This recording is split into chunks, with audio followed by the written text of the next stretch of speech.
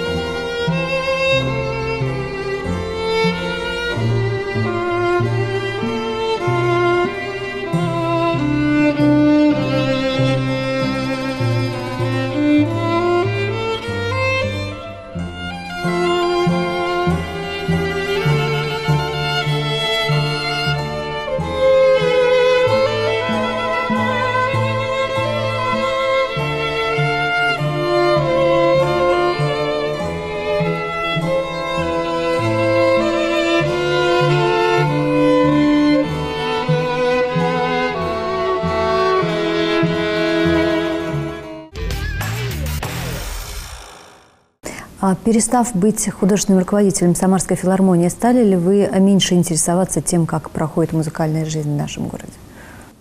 Ну, знаете, я достаточно... Я бываю в Самаре два раза в год, собственно, сейчас, когда проходят Дни высокой музыки в октябре и когда проходит Волжский фестиваль духовной музыки. Это весной в период Великого Поста. А, фестиваль, который придуман нами с митрополитом Иларионом. И это такой уникальный в своем роде проект музыкальный, который сконцентрирован именно на духовной, на католической, православной музыке. Совершенно не имеет аналогов от фестиваля. Я очень надеюсь, что он будет продолжать здесь свое существование, и Владыка Иларион тоже очень внимательно к нему относится при составлении программ, при подбору э, репертуара. Поэтому я не думаю, что я как-то меньше интересуюсь. Ну, это будет весной, а сейчас уже а сейчас начинаются дни высокой Да, я просто хотел сказать, что я достаточно все-таки интегрирован в то, что происходит мы остались не чужим для вас городом, Нет, я надеюсь. конечно. Знаете, как говорят бывших разведчиков, не бывает. Вот для меня тоже это, это все, эти люди, с которыми мы так тесно сотрудничали, а, работали, а это все люди мне очень близкие, родные. Я каждый раз сюда приезжаю, я не чувствую, что я приезжаю в какой-то неродной мне город. Что касается Дней высокой музыки, в этот раз необыкновенно разнообразная программа. Это тоже ваше решение? Это наше решение. А, ну, знаете, каждый фестиваль должен иметь какую-то динамику. Динамику, на мой взгляд, все-таки разнообразие и расширение. Ну вот максимально, максимально то, э, что на данный момент было возможно, наверное, будет сейчас представлено публике. Он действительно разнообразный фестиваль, в нем есть концерты и выдающихся мастеров, есть концерты э, начинающих, э, молодых дарований, есть джазовые концерты, хоровые. Ну, то есть каждый слушатель, каждый зритель, у него есть выбор, на какой концерт сходить и что ему ближе, какой жанр.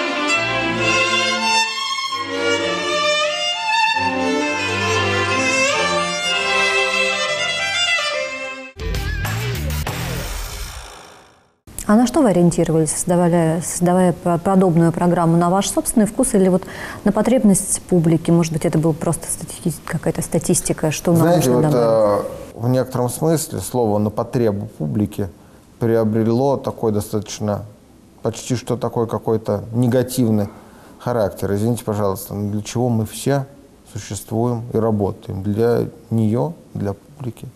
Публика – это главный критерий, публика – это то, э, вообще для чего, например, для чего я занимаюсь своей профессией.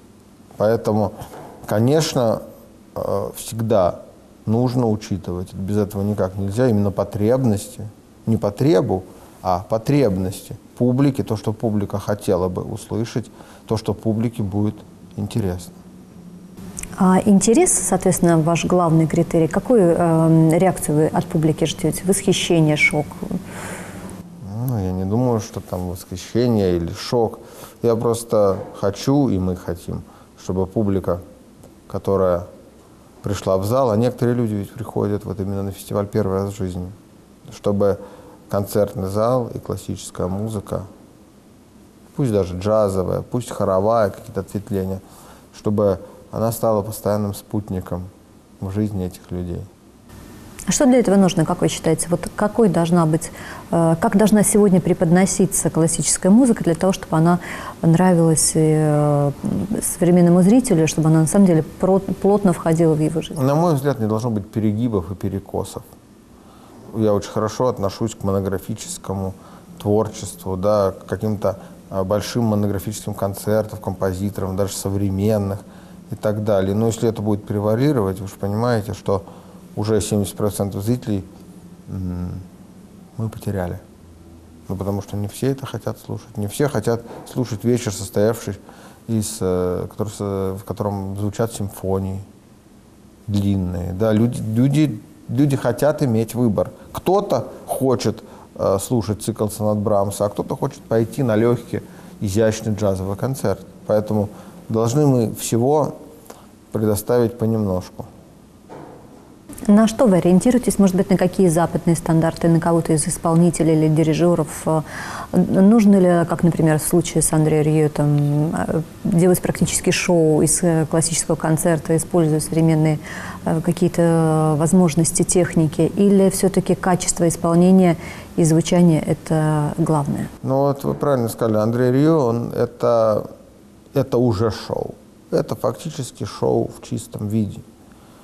А, мы все-таки занимаемся академическим искусством и классической музыкой. Другое дело, что а, должны быть развиты разные ее ответвления и жанры. Но сам базис да, высокого знамени академического искусства, он должен быть неизменен. Никто никакое шоу не пытается здесь устраивать. Этого не будет, для этого есть другие люди. А вы насколько довольны качеством исполнителей, которые в этом году будут участвовать в фестивале? Ну, это такой... Это лучшее, что вы могли это, собрать? Это такой вопрос, знаете, странный в том плане, что если бы я недоволен был качеством исполнителя, Но вы получаете все, что вы хотите? он бы никогда, этот исполнитель, не получил приглашение выступить на Днях высокой музыки. Это просто невозможно, да, ну, ну, ну как? Ну, может быть, кто-то еще пока не согласен ехать в Самару? Или вам удается всех пригласить, э, кого бы Ну, знаете, вы знаете, пока что, пока что на это жаловаться не приходится. Люди приезжают, приезжают с удовольствием, и публика их слушает с удовольствием. Мне кажется, состав исполнителей в этом году очень сильный и разнообразный.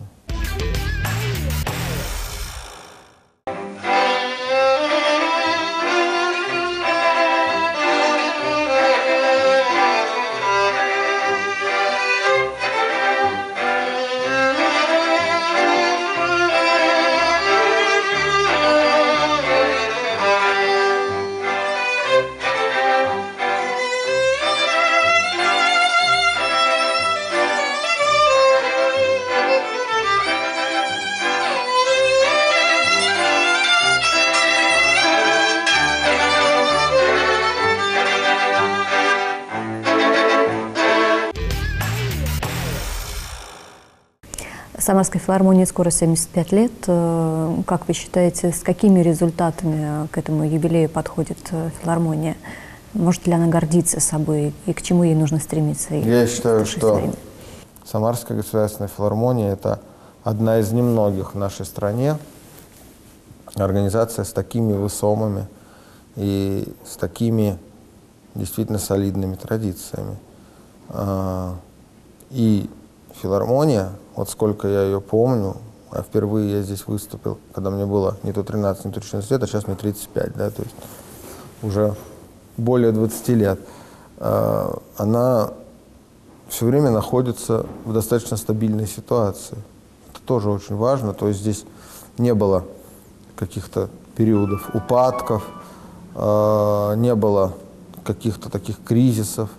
То есть все достаточно ровно, и люди, которые работают в филармонии, которые, которых я знаю годами, некоторых десятилетиями, некоторых вот с первого дня моего сюда приезда более 25, более 20 лет назад, эти люди всю жизнь отдают, и они, конечно, профессионалы очень высокого уровня. Я хочу им пожелать никогда не сдаваться и дальше развивать то, что нужно и можно развивать, то, что требует развития.